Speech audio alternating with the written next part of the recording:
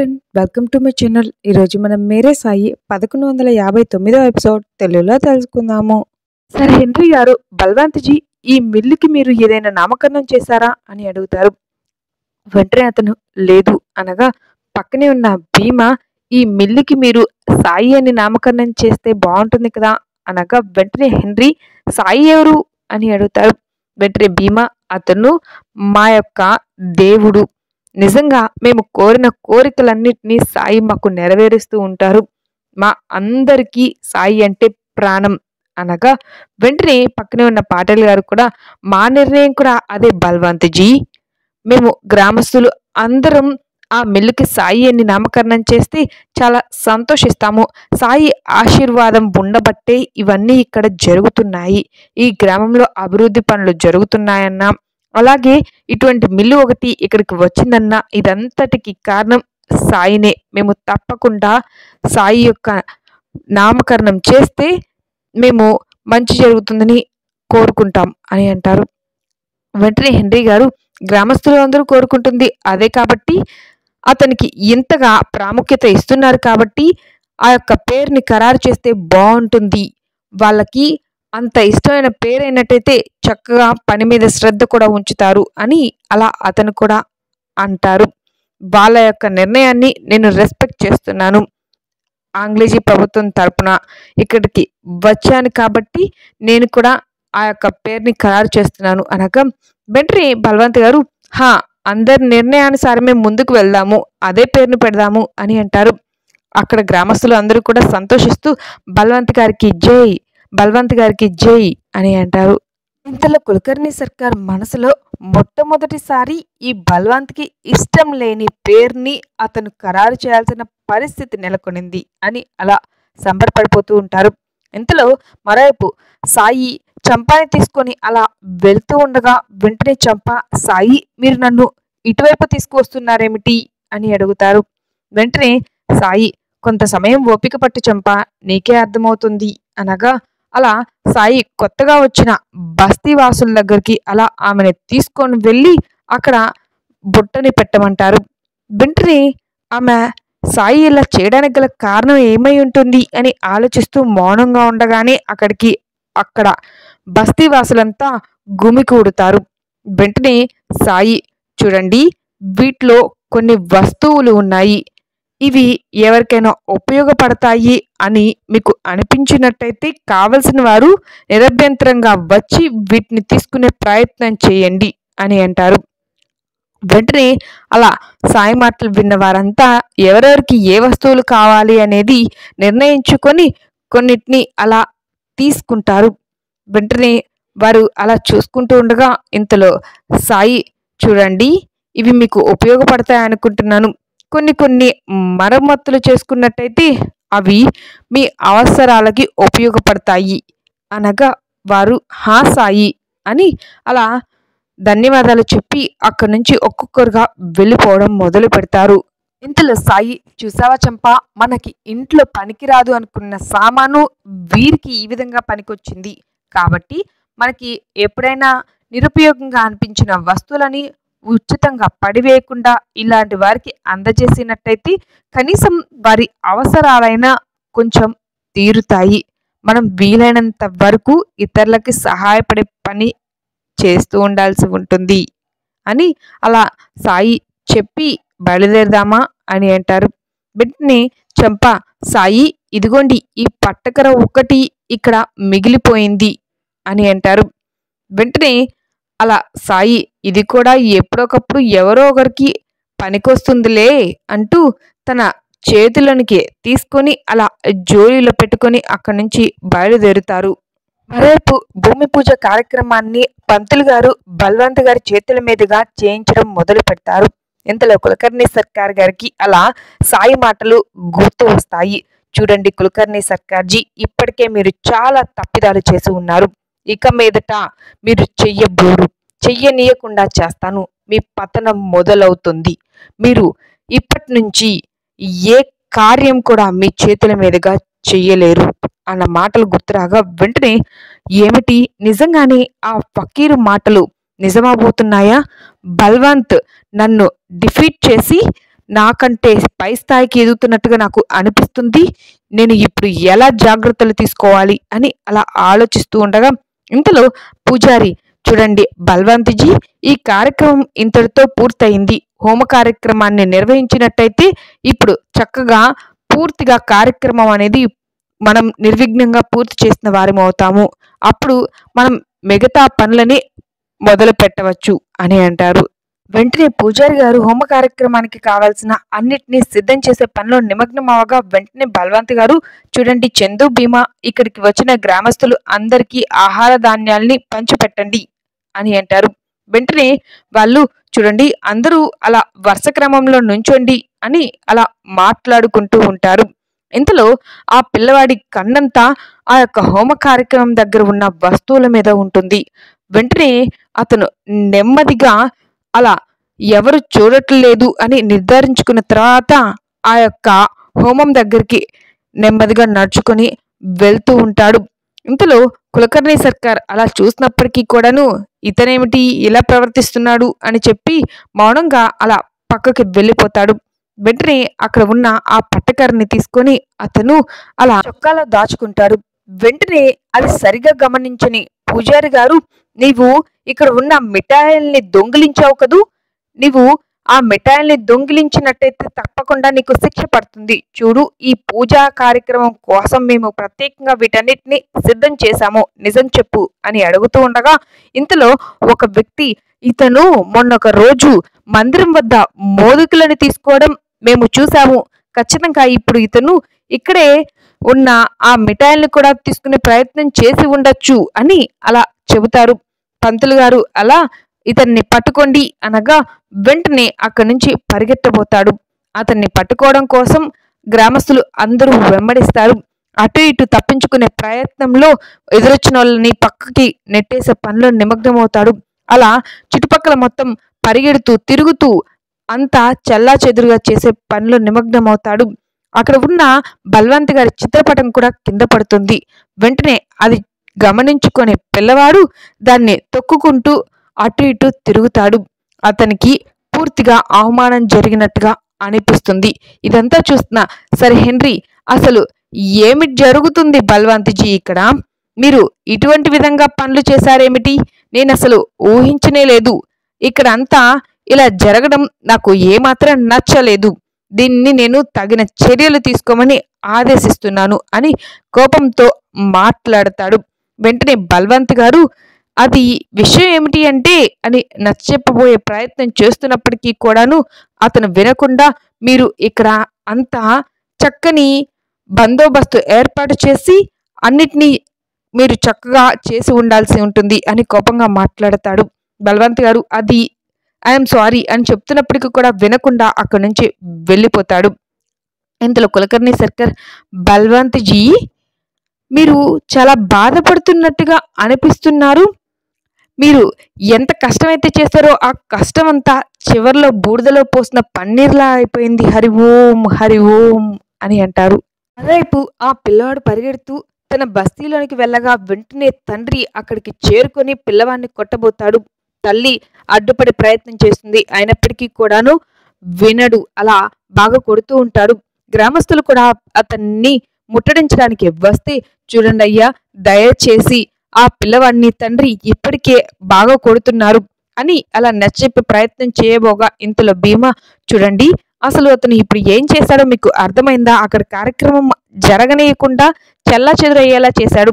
అసలు మిమ్మల్ని ఇక్కడ ఉండనేయడమే మేము చేసిన తప్పు. మీరు అసలు ఇక్కడ ఇదంతా ఘనకారం చేశారు అని కోపంతో మాట్లాడుతూ ఉండగా ఇంతలో అక్కడికి సాయి చేరుకుని వాళ్ళని ఇక్కడ ఉండనివ్వడానికి మీరెవరు? ఇక్కడ ఉండనివ్వడానికి మీరేమైనా వారి కోసం ప్రత్యేకంగా భూమిని కేటాయించారా? మీ స్థలంలో ఏమైనా వారు ఉన్నారా? అని అడుగుతారు. ఇంతలో భీమ మౌనంగా ఉండగా వెంటనే సాయి చూడండి ఇది ఒకప్పుడు మీ భూమి. కానీ దీన్ని ఇప్పుడు మీరు అమ్మేసి దీని మీద ఉన్న హక్కుని కోల్పోయారు. ఈ స్థలంలో ఇప్పుడు ఎవరైనా ఉండవచ్చు అని అలా మాట్లాడగా వెంటనే అలా చందు సాయి ఇతను ఒక దొంగ. అందుకే మేము అతన్ని పట్టుకోవడానికి వచ్చాము. అక్కడ హోమ కార్యక్రమంకి అన్ని ఏర్పాట్లు చేస్తే అక్కడ మిఠాయిలు దొంగిలించే ప్రయత్నం చేశాడు. అలాగే బలవంత్ గారి ఫోటోని తొక్కేశాడు. అక్కడ కార్యక్రమం అంతా చెల్ల చెదరయ్యేలా చేశారు. అనగా వెంటనే సాయి చూడు నీవు నిజాన్ని తెలుసుకొని మాట్లాడాల్సి ఉంటుంది. ఎవరో చెప్పింది నిజం అని అభిప్రాయపడితే అది పూర్తిగా తప్పు. అతను తనని తాను రక్షించుకోవడం కోసం మిమ్మల్ని అలా నెట్టేశాడు. అంతేకాని మిమ్మల్ని కావాలని ఇబ్బంది పెట్టలేదు. అతను దొంగిలించడం మీరు చూసారా అని అడగ్గా వెంటనే భీమా సాయి అక్కడ పూజారి గారు అలాగే ఇంకొకరు కూడా దొంగిలించడం స్వయంగా చూశారు సాయి అని అంటారు. వెంటనే ఆ పిల్లవాడు లేదు లేదు అనగా ఇంతలో సాయి చూడు నీవు నిజంగా అక్కడ దొంగిలించావా? నీవు నిజం చెప్పు చురహాస్. నీవు దొంగిలించింది మిఠాయి కాకుండా మరొకటి కదూ దాన్ని తీసి చూయించు అని అంటారు. వెంటనే అతను అలా భయపడిపోతూనే తన చొక్కాలు దాచుకొని ఉన్న ఆ యొక్క పట్టకర్ని బయటికి తీస్తాడు. వెంటనే తండ్రి చాలా ఆవేశంగా నీవు దొంగిలించింది ఈ పట్టకర్ణ అసలు ఎందుకు తీసుకున్నావనేది చెప్పి తగలడు అని కోపంతో అలా కొట్టడానికి ముందుకు రాగా ఇంతలో అతను భయపడిపోతూ అది అమ్మ మొన్న రోటీ చేసుకుంటూ చెయ్యి కాల్చుకుంది. అందుకోసమే ఆమె కోసం దీన్ని తీసుకున్నాను అని అలా జరిగిన సంఘటనని గుర్తు చేసుకుంటూ సమాధానం చెబుతాడు. వెంటనే అలా సాయి చూడండి ఇతను తన తల్లి చెయ్యి కాల్చుకోవడాన్ని చూసి ఆమె ఇబ్బంది పడుతుంది బాధపడుతుంది అని గ్రహించి మరొకసారి అది జరగకూడదనే ఈ యొక్క పట్టకర్ని తీసుకున్నాడు. అంతేకాని అతను దొంగతనం మిఠాయిల్ని చెయ్యలేదు. ఇలా తీసుకోవడం తప్పే కానీ తల్లి కోసం ఈ పని చేశాడు అని అలా నెమ్మదిగా సాయి చెబుతారు. ఆ పిల్లవాడు భయపడిపోతూ వణికిపోతూ ఉంటాడు. ఇంతలో అలా వారంతా నిర్ఘాంతపోయి మిఠాయిలు కాదా అని మౌనంగా ఉండిపోతారు. వెంటనే సాయి చూడండి తల్లి కోసం అతను చేసిన చిన్న తప్పిదం.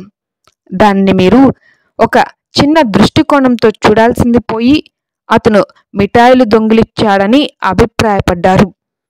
అదే మనం కొన్నిసార్లు చూసినవి విన్నవి అన్నీ నిజాలు కాదు. నెమ్మదిగా తెలుసుకునే ప్రయత్నం చేయాల్సి ఉంటుంది అని అలా సాయి వారికి నచ్చజెప్పే ప్రయత్నం చేస్తారు. వెంటనే చందు సాయి మా వలన పొరపాటు జరిగిపోయింది అని బాధపడుతూ అనగా ఇంతలో సాయి ఆ పిల్లవాడు చేసింది ఒక రకంగా పొరపాటే కాకపోతే తెలియక చేశాడు అని అలా సాయి నెమ్మదిగా సర్ది చెప్పి చూడు నీవు ఇలా ఒకరి వస్తువు తీసుకోవడం మంచి పద్ధతి కాదు. నీవు చేసింది కూడా తప్పే. మరోసారి ఇటువంటి తప్పు చేయను అని క్షమాపణ అడుగు అని అంటారు. వెంటనే వాళ్ళ అందరినీ నన్ను క్షమించండి అని అలా బాధపడుతూ ఏడుస్తూ చెబుతాడు. ఇంతలో సాయి చూడు నీవు మరోసారి ఈ విధంగా దొంగతనం ఎట్టి పరిస్థితుల్లోనూ చేయకూడదు చురహాస్. అని చెప్పి ఆ యొక్క పట్టకర్ని అతని చేతిలోంచి తీసుకొని వారికి ఇచ్చేయమంటాడు.